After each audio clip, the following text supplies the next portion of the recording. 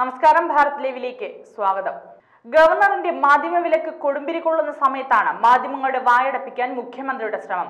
സർക്കാരിനെ വിമർശിക്കുന്നതായുള്ള തോന്നൽ മാത്രം മതിയെന്ന് സാരം. അതായത് സർക്കാരിനെതിരെ പറഞ്ഞാൽ പരാതിയും വേണ്ട വാറന്റും വേണ്ട. പോലീസിന് തോന്നിയാൽ കേസെടുത്ത് മാധ്യമങ്ങളെ ചങ്ങലക്കിടാനാണ് പിണറായി ലക്ഷ്യമിടുന്നത്.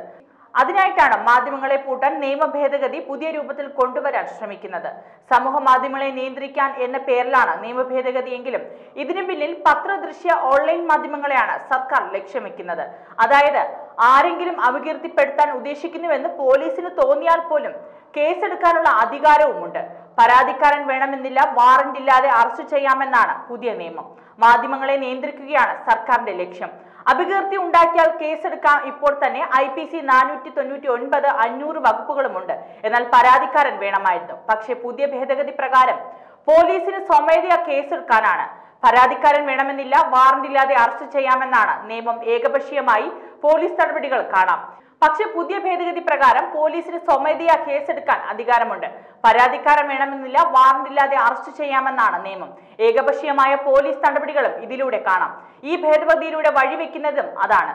സോഷ്യൽ മീഡിയ വഴിയുള്ള സൈബർ ആക്രമണങ്ങളെ നിയന്ത്രിക്കാൻ എന്ന പേര് രണ്ട് വർഷം മുമ്പ് ഈ ഭേദഗതി കൊണ്ടുവരികയും പിന്നാലെ രൂക്ഷമായ വിമർശനമാണ് ഉയർന്നു വന്നത്. പിന്നാലെ പിണറായി സർക്കാർ തന്നെ ഇത് പിൻവലിക്കുകയായിരുന്നു. നിയമ ഭേദഗതിയുടെ ഏറ്റവും പുതിയ രൂപത്തിലുള്ള ബില്ലായി ഡിസംബർ അഞ്ചിന് തുടങ്ങുന്ന നിയമസഭാ സമ്മേളനത്തിലേക്കാണ് പുതിയ ഭേദഗതി വരുന്നത്. ഐ പി സി ഇരുന്നൂറ്റി തൊണ്ണൂറ്റി രണ്ടാം വകുപ്പ് ഭേദഗതി ചെയ്ത് ഇരുന്നൂറ്റി തൊണ്ണൂറ്റി രണ്ട് എ എന്ന രൂപമായിട്ടാണ് രൂപമാറ്റം വരുത്തി പുതിയ വ്യവസ്ഥകൾ ചേർക്കപ്പെടുന്നതും.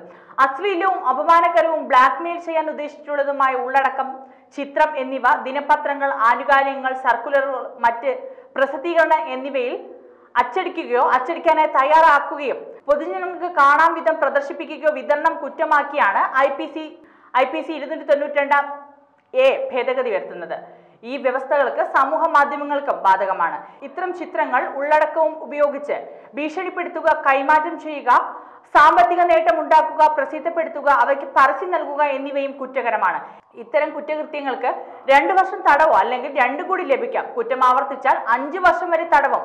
പതിനായിരം രൂപ പിഴയും രണ്ടു കൂടിയോ ലഭിക്കാനും സാധ്യതയുണ്ട്.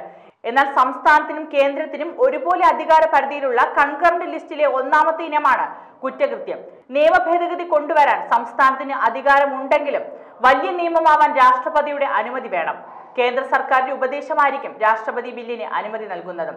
മാധ്യമ സ്വാതന്ത്ര്യത്തിനൊപ്പം പൗരന്റെ വ്യക്തി സ്വാതന്ത്ര്യം ഭരണഘടന ഉറപ്പു നൽകുന്ന അന്തസ് എന്നിവ സംരക്ഷിക്കാനാണ് പുതിയ നിയമമെന്നും സർക്കാർ വാദിക്കുമ്പോഴും.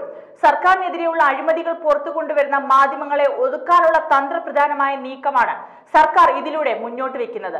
ആരും സർക്കാരിനെതിരെ ശബ്ദിക്കരുതെന്ന ഒരുതരം വാശി നടപ്പിലാക്കാൻ വേണ്ടിയാണ് ഈ നീക്കമെന്നേ പറയാൻ കഴിയുകയുള്ളൂ.